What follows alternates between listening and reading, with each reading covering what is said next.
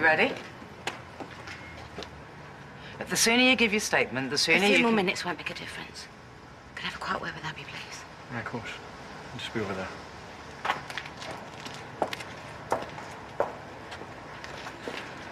You okay? Yeah.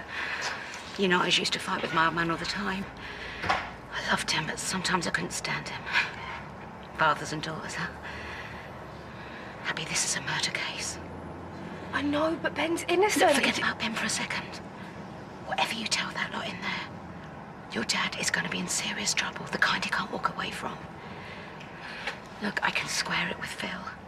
It'll be fine if you want to change your mind. You've got to be 100% sure. I am. Do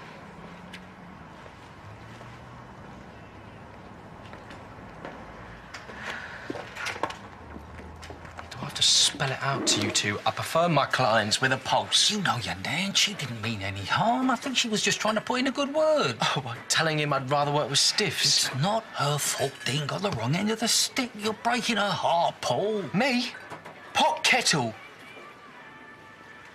There's only one woman in my life. I haven't even seen Claudette in months. Come home, will you? Can't. I'm going down the Albert for a drink with some of my mates from Blades. We're celebrating. Lola's got a new job, haven't you heard? Paul.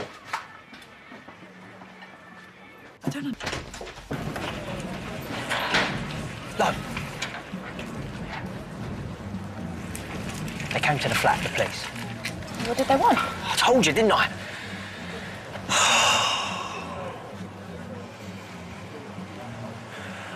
I've got to go. Now. Come on. You can't go. It's all right. No, you can't come with me.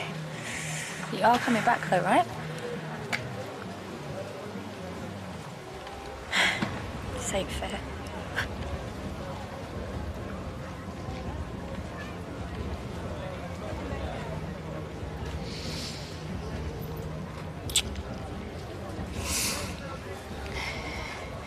Give me half hour. But I thought... I'm getting Lexi's stuff. We're coming with you. Okay, okay, okay. Well, meet me at the tube in half an hour, yeah? Look, look. What?